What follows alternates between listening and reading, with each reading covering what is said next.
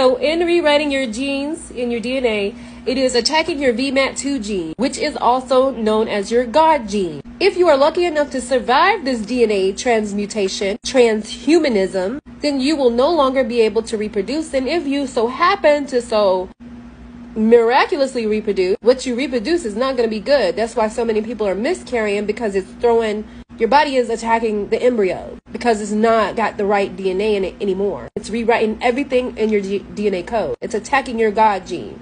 Now, it also has bioluminescence in it, meaning your veins will glow under certain UV lights. I know it sounds crazy, but there's plenty of people that's tested it. That's why you see some people changing the street lights out in the cities to UV lights, black lights.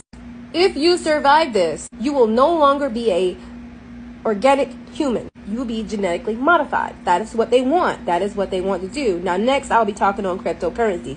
Part three is coming up.